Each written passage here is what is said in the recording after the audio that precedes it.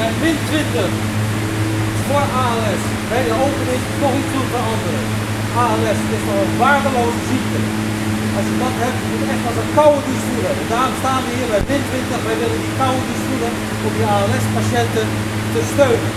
Te steunen zoals u ook kunt steunen door geld te geven voor onderzoek voor ALS. Jongens, kom! We gaan ervoor!